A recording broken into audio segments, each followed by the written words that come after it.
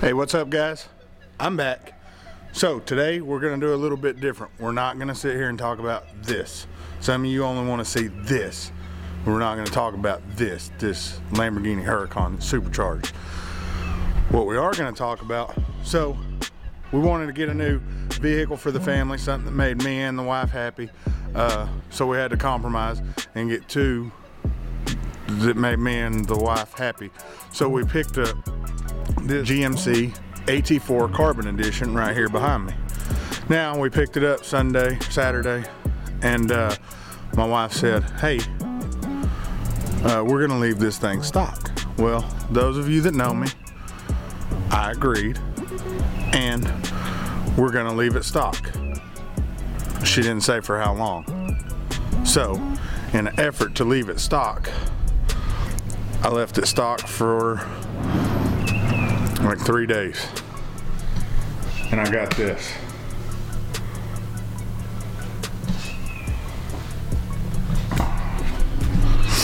It's a Corsa cold air intake, Corsa exhaust. So I'm gonna give you guys a cold start and then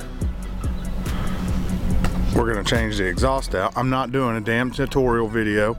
It's not hard to install an exhaust. You guys know how. You don't need me to show you how to unbolt six bolts and put them back in, but I will do a cold start and then a cold start with the new exhaust. So here we go, check it out. Here's the cold start on this mofo.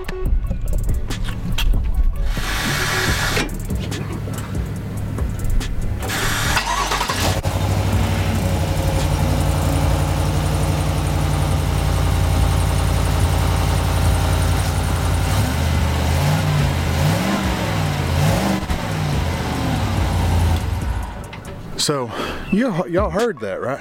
A 6.2 liter V8 sound like four banger. We're gonna fix that. Stay tuned. And a Carbon Pro GMC AT4, it's a good truck. I've already put a bunch of miles on it because I had some personal stuff to deal with that I told you guys about. So I made a drive, a long ass drive, there and back. 12 hours there, 12 hours back. It performed great except for the whole 17 miles per gallon, that 100 mile an hour cutoff crap. But I'm trying to get that fixed. We're working on that next. So we're gonna do a cold air intake by Corsa and the new exhaust by Corsa. Here comes a cold start coming at you in just a few minutes. Peace. So guys, here's the stock exhaust. That's the muffler. That's the rear exits. You keep the stock tips but here's the new Corsa. That's one of the pipes. That's this part. Then boom. So we don't have those resignators in the back. Cleaner setup. So far so good. We're at 10 minutes to remove the stock, so that's not bad. All right guys, so we got the new exhaust installed. Uh, let's see what it sounds like. My wife caught me too. Uh, she still didn't realize I had that in the garage. So, but oh well. She don't watch the videos, so we'll get over. We'll we'll get out of trouble.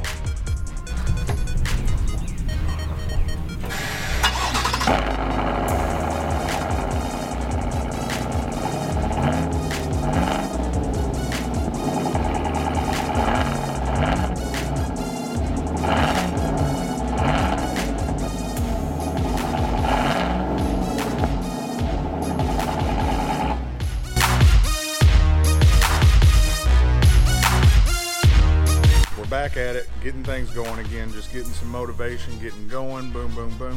Uh, as you see, we got the Huracan. Things are about to change on the Huracan, but today we're gonna jump in a truck I bought for work. It's a 2020 GMC AT4. Uh, we got a Corsa exhaust on it, and I'm gonna do the review and install on it, but here's the cold start of it. I did another cold start, but let me give you a little bit better.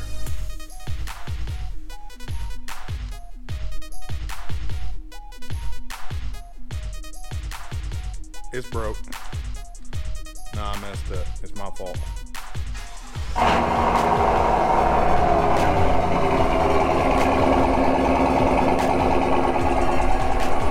So that's the cold start on the Corsa. I think it's the catback. Yeah, it's the catback system.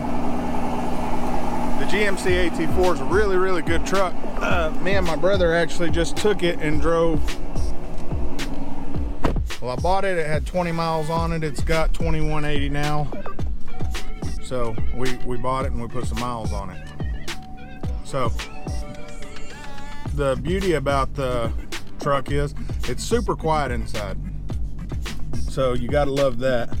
But I'm to give you some real world thoughts on the exhaust. Hang tight. Also, my thoughts on the Corsa exhaust. Before I get into that, remember like, subscribe. I'll give you just a second. You done? Did you get it? Click the bell notification so you know when all new things are coming out. But remember, like, subscribe, that's really important. We got the merch line up. It's actually below in the description. Uh, the detail spray and detail company I use also in the description. A Park Up Front app. If you guys aren't using that to find a meet, you're losing your mind. But my thoughts on the Corsa exhaust. And I got a discount on the exhaust. And you guys know everything I do, I try to do honest, give you a real world review, not the fluffed up BS that everybody gives you. Your first impressions of the Corsa. When I first cold started, I was super impressed. I loved it. I was like, oh my God, the truck's alive. Because when you get these trucks from the factory, they don't really sound like a V8. And this has the 6.2 in it. After driving it around town and as it warms up, like right now, let's roll the window down. It's got a little bit of throat to it, but as you can see, it sounds like a, not this stock exhaust, but stock like it used to be before this body style. I think it's a huge waste of money. Part of my channel is being real with you guys. It's real talk with Matt. And this exhaust is a total waste of money. It's uh, probably the worst thing I've ever spent money on, to be honest with you. Uh, Corsa didn't send me this for the review. I, I spent money and good amount of money, and I got a discounted rate because they know I'm going to do a review on it.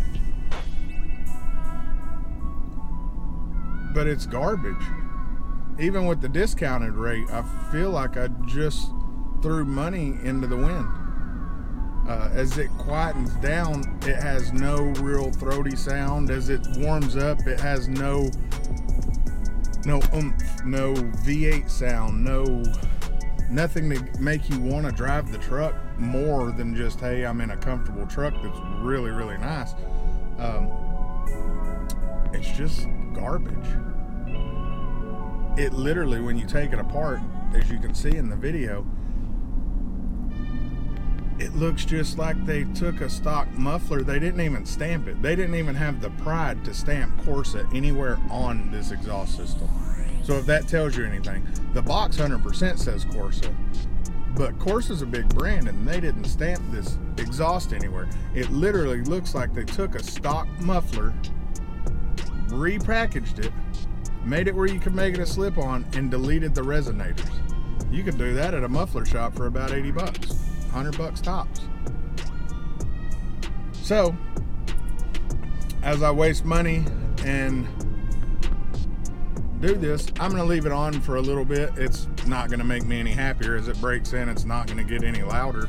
Uh, not a crazy ton louder. Nothing to make it be like, oh man, it's alive it's that's not going to happen. An exhaust shop will tell you usually after 100, 150 miles you start to see the uh, the break in. It's done. Some say 500, but that's bullshit. Uh, don't waste your money on the Corsa, guys. I can't give you 100%. Hey, the Borla ATAK or the Borla S Type or the Borla Touring is a better exhaust system because I, I haven't reviewed it. I don't know. I haven't even seen one on one of the new trucks yet. So there's a ton of videos out there. Uh, and I'm in talks with Borla to do something with them to take this junk off and put something else on. It has a little bit, see, but we're still not warmed up. Just sounds like a stock truck. Not this stock truck because they're way quieting this truck down, but a stock old body truck. It's just not impressive, guys. So that's all my talks and BS and tell you how I feel about the Corsa exhaust. And like I said, everybody who stuck with me this past week and a half, two weeks of not really uploading a ton of videos, I apologize for that and thanks for sticking with me. We still have the giveaways coming up. Uh, if we hit the 100,000 subscribers, someone's going to get a $1,000. Uh, if we hit a million, which I doubt it, we're what? This is March, mid March. And uh, I mean, we got some good momentum, but uh, it's going to be a struggle to get to the 100,000. But if we happen to hit a million, if I do a video you people actually like, uh, and we get going, uh, I'm going to give away $10,000 if we hit a million plus the other thousand dollars. So we're going to be at eleven thousand dollars January first, 2021. So keep that in mind. Anyways, guys, thanks for watching. Hope this helps you out. Hope it don't make you waste your money on a Corsa exhaust. And if I get in trouble by Corsa, it was nice doing videos for you guys. Peace.